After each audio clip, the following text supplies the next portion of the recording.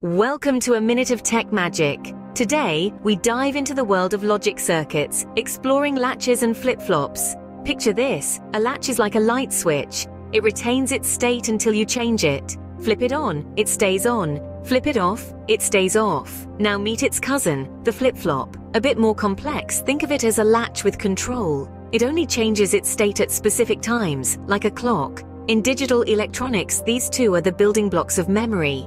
They store data in binary form, ones and zeros. So next time you save a file, remember the humble latch and flip-flop, working tirelessly behind the scenes. Stay tuned for more tech tidbits. Until then, keep exploring.